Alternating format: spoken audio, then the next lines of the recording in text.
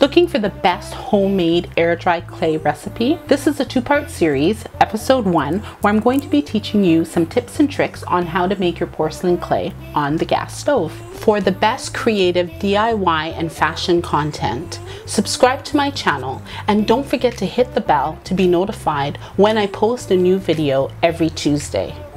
I have a Facebook group that is dedicated to creative DIY crafts and fashion that you're able to join. Now it's your turn.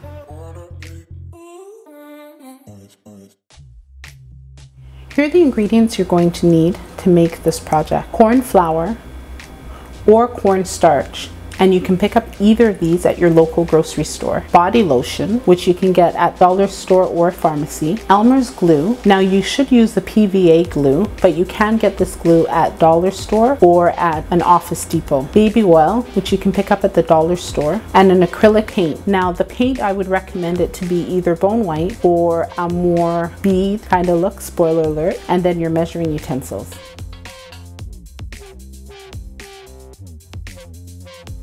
Before we start, you can now use lotion or you can use the baby oil or you can use a combination of both and just put it down that you can see a little bit more than the baby oil and you're just gonna smooth it over your surface so that once you're finished making your clay, you can just take it off the heat.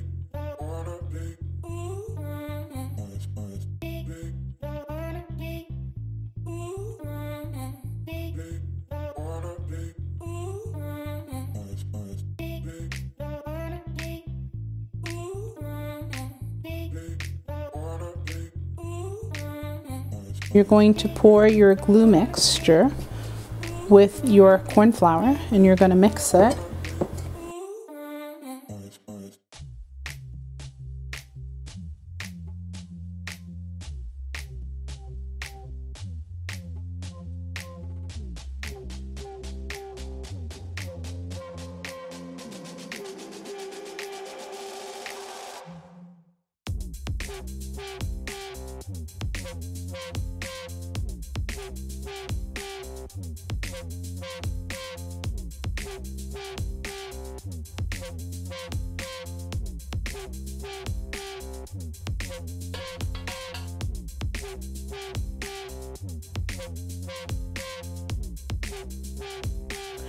Comment down below if you've ever tried making air dry clay on a gas stove or an electric stove.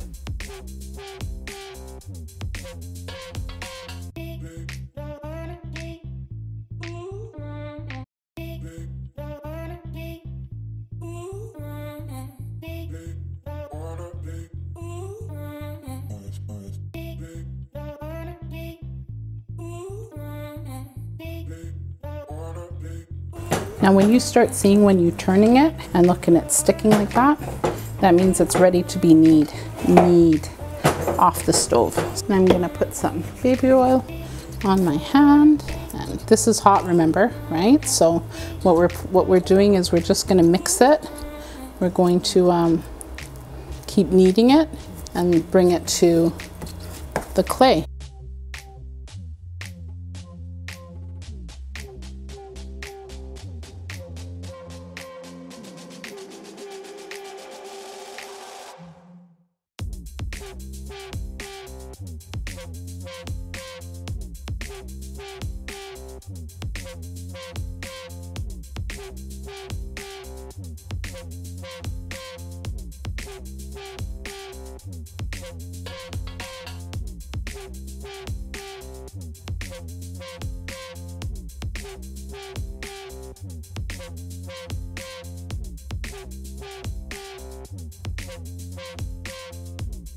Big. Now this one here is the one that I made out of the corn flour. This, I actually made this product out of soap, a bar of soap, and it is nice. I've had it for, I think it's three or four months now. But if you want to change your your and this, this is actually a really nice color for a bead and so is this one so if you want to have a nice bone effect you can mix those two colors together and both you can do the pinch test now this one I did mix, but Now that you know how to make air dry clay on a gas stove, I have written a five page designing platform guideline that will help you learn to take whatever creativity you have in your mind and put it on something that is digital. Also, if you want to join a community of creative minds just like yourself, I will be launching my Facebook secret group in the coming months. So check out these videos next on how to make chalk paint and my upcoming video, how to make salt dough beads. Hit that like button and be sure to subscribe to my channel and share it with your family and friends.